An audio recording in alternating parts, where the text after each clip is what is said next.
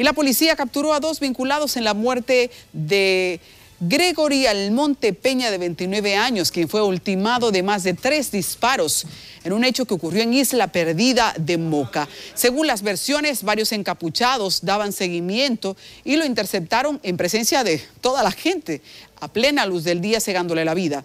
Realizan las investigaciones del lugar y colectan evidencias a través de videos de una cámara de vigilancia próxima a la zona donde ocurrió el suceso.